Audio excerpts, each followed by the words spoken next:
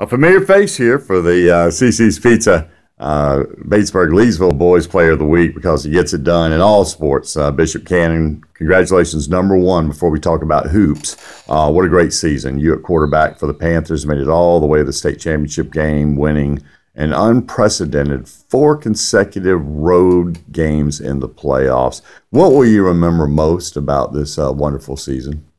Uh, how hard we worked. I mean, nobody handed us nothing work hard. When you guys came out of non-region play, you were two and three. At that point, would you even thought? Did you did you see this happening towards the end of the year? Were you like, man, I don't know what's going on right I now? saw it all the way. You did the whole time. I knew nobody in the region could play with us really. Um, just I don't know.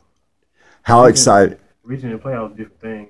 It sure is. Yeah. Sure. Now, how exciting was it? And I know you were disappointed you guys didn't finish the job completely, but making it to that state championship game, playing over there at Benedict Stadium, how exciting experience was that?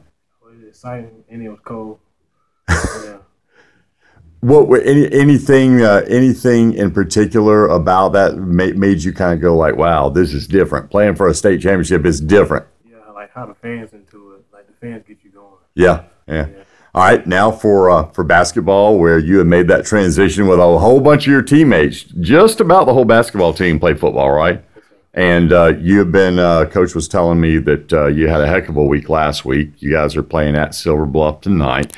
Um, how's the transition been from the football field to getting the legs right for basketball, getting the shot right, and all that?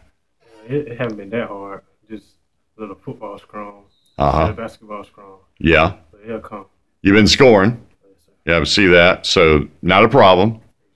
But as far as uh, as far as uh, just overall, you guys kind of finding your groove, or do you, you still gonna need a week or two to get to where right you're finding it right now?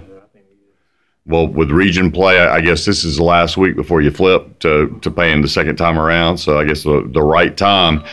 Can y'all make some noise this year in basketball like you did in football? I think so. Yeah. You're you're obviously a star in both. Which one do you just like to play more? What's more fun for you to play, football or basketball? Basketball. Basketball is. Gotcha. Well, hey man, good to see you. Happy New Year to you. Hadn't seen you since uh, since uh, December, and uh, keep up the good work. Have a good game tonight, and obviously we'll be talking to you not just the rest of this year, but you got a whole another year here, man. You're gonna go back to that state championship game, right, and win it. I got you, Bishop. Thank you, man.